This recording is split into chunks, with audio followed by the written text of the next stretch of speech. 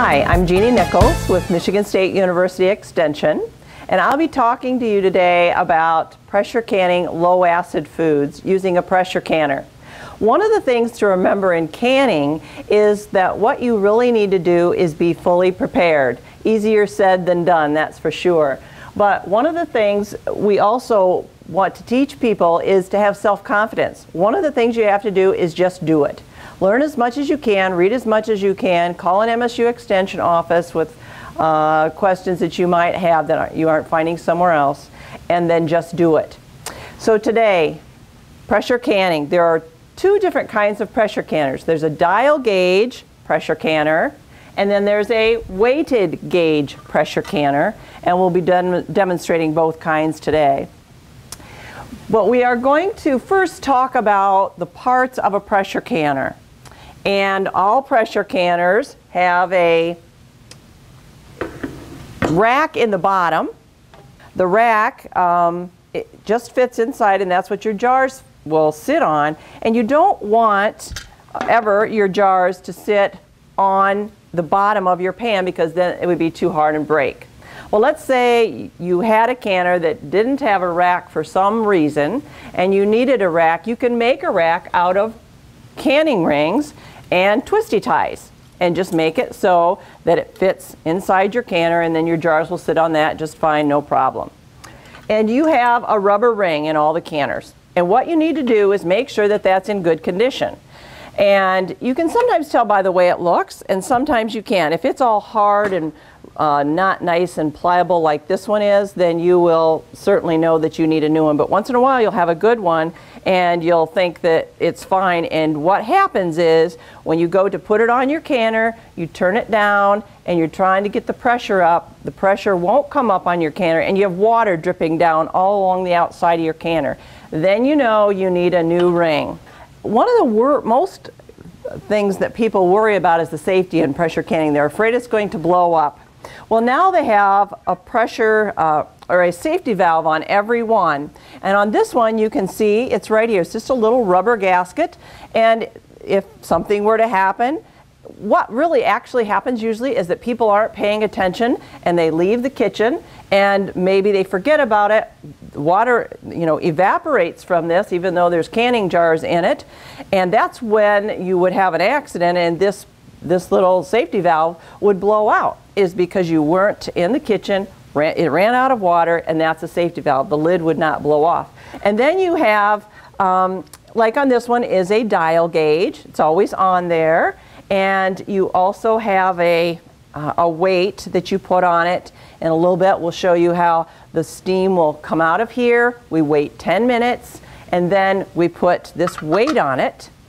And then you'll eventually see, eventually see that the, the uh, pressure is coming up, and it's going to show on this gauge. All right, on one like this, which is a um, um, weighted gauge, this is a dial gauge and this is a weighted gauge, you have this kind of a, a petcock and it then has a place that says 5, 10, or 15 pounds pressure. So today we're going to can the green beans. And so one of the things you're going to, you're going to have is um, our jars and you can use pint jars or quart jars. We'll use pint jars today. And you always want to use an approved jar. All that means is that it's a ball jar or uh, a Kerr jar. They're made by Alltrista now. And a jar will um, often last 10 to 15 years. It'll last if it's used every year. It's in good condition. And you always want to make sure that the, that the rim of it is in good shape. You just run your finger around it. And if it if you even feel a little bit of something rough or uh, you think there might be a crack, don't use it because it's got to have a good lid here in order for it, or a good top, in order for it to, to seal.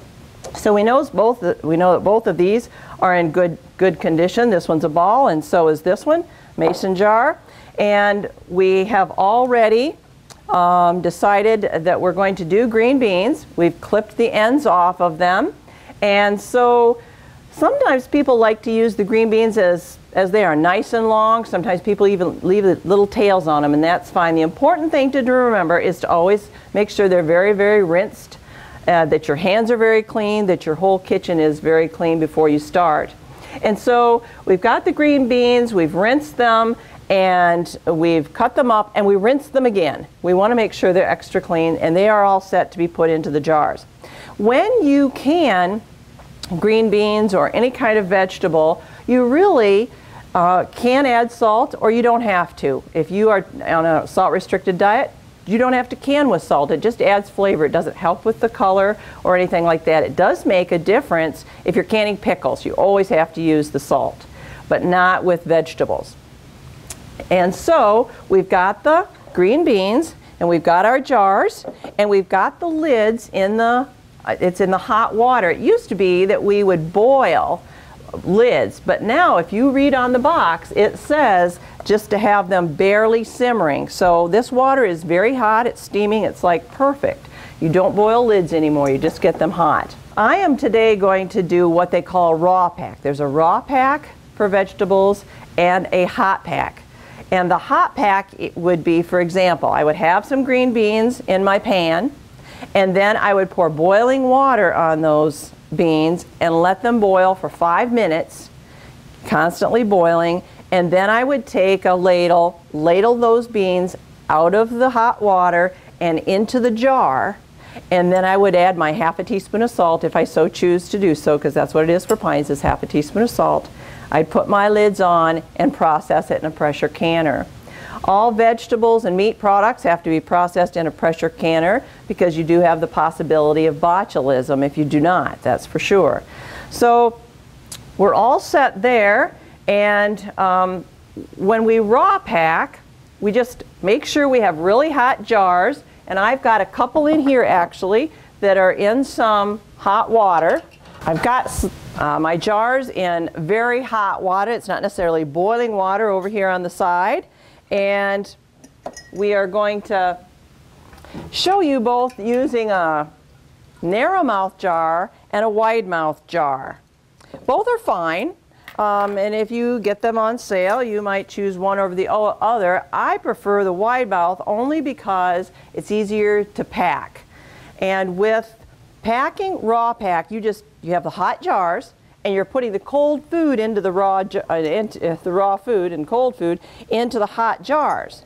And the reason that you want your jars hot, right there's a little end, but the rest of ours don't uh, have it, so we're going to take that off. And then you pack it as tight as you can in there.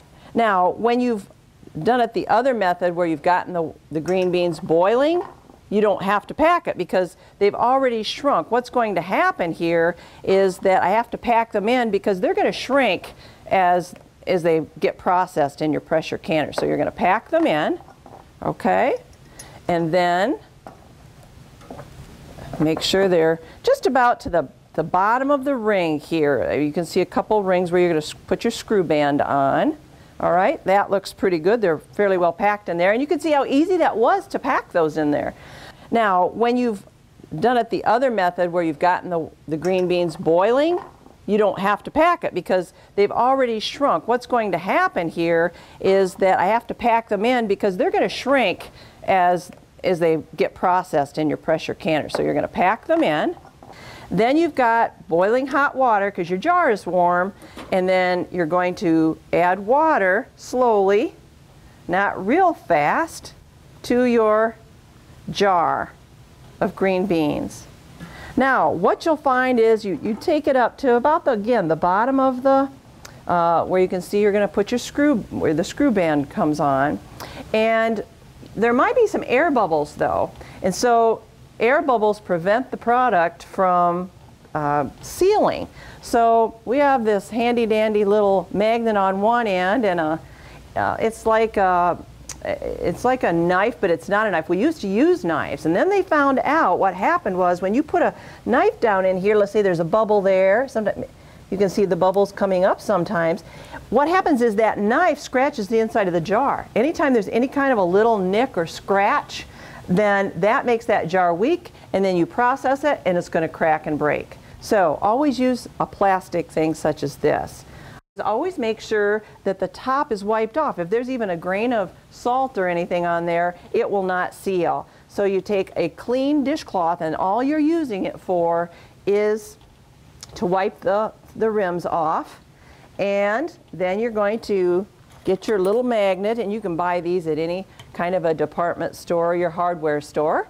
And you're going to get your lid out of your hot, not boiling water. Everything looks good.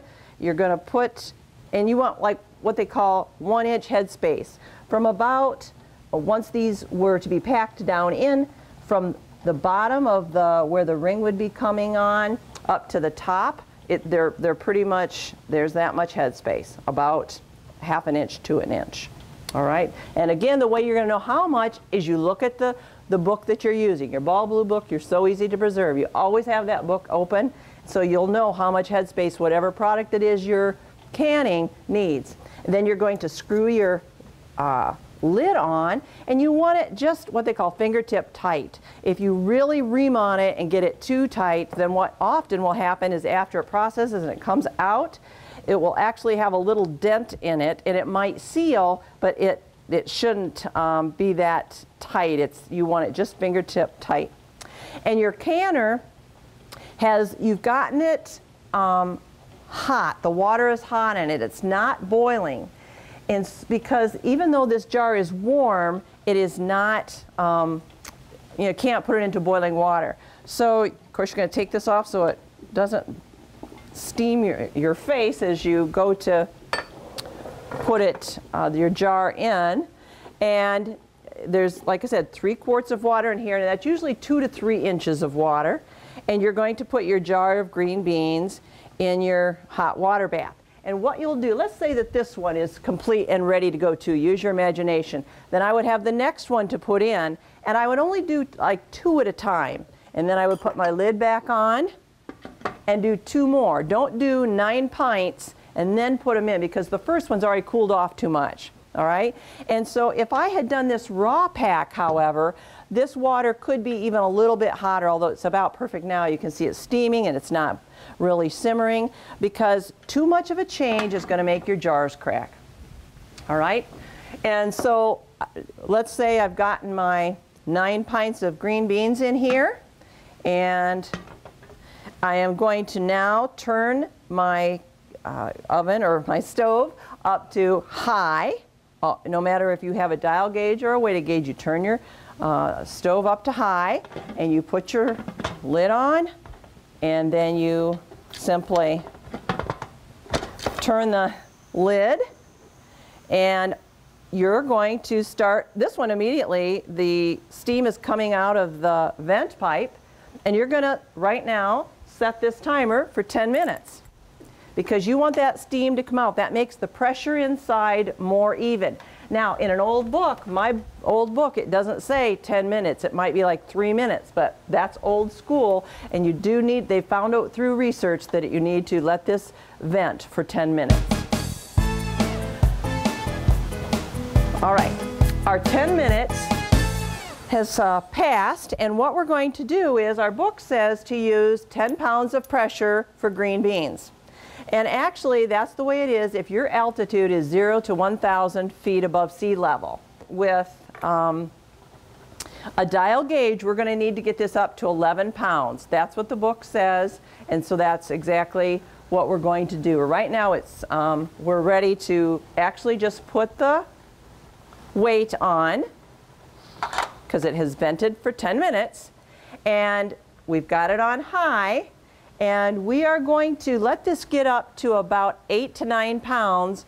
Then we're going to start turning the heat back so that by the time it gets to 11 pounds it should sort of we can turn the heat back a little bit more and it's going to stay at 11 pounds. And we're going to according to the book we're going to process those green beans for 20 minutes and uh, then we'll take the, the lid off and sit them on a cooling rack for 24 hours and let them uh, uh, make sure they're well sealed. And then one thing we don't want to forget folks, to tell folks, is that when you take, um, after it is set and you've, you've got the product out of the canner, it sat for 24 hours, then you're going to take the screw band off and you're going to wash that jar because um, you're going to store it either in your pantry or your basement, and we don't want mold and such to grow around that. So you actually wash it, soap and water, wash it. And then you're going to label this, it um, so that you know um, what date that you canned it. So um, you'll be all set there. All right? And then you, you don't even bother put the, the screw band back on when you store it, only if you want to give it away or something along those lines. Well, you can see that it's at 10 pounds pressure, and so at about 8 pounds, I started to turn the stove down to medium.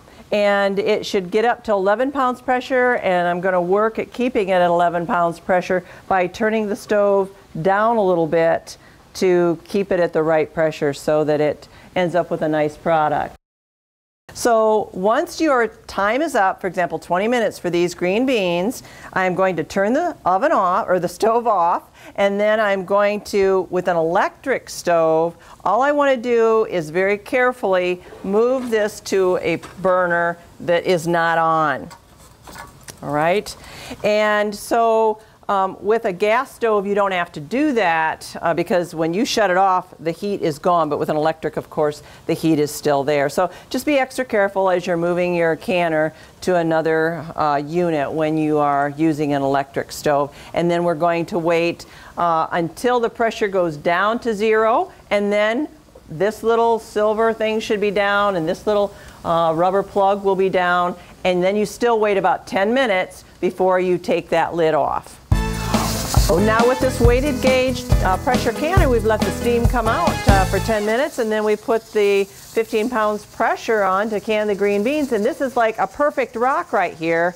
As you can see, it's supposed to, this, this particular canner is supposed to gently rock for 20 minutes. And so I've got to start turning the stove down to keep it at that uh, kind of a perfect rock right there. So you'll go like from high to high medium and you, you don't want to uh, take it down so quickly that it stops rocking because if it stops rocking you have to start all over again as far as bringing the pressure you have to turn it back up to high and letting the jiggle start again and then you're going to um, start processing again with the 20 minutes from when that jiggle starts.